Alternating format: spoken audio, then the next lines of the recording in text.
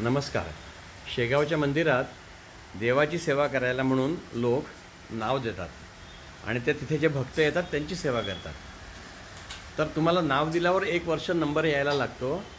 त्यात मोठे मोठे शिकलेले लोक पण नाव देतात. आणि ते देवाची सेवा करावी तशी तिथे जे दर्शनाला भक्त येतात त्यांना मदत करतात. आणि एक पैसा घेत नाहीत. तर देतो तो देव.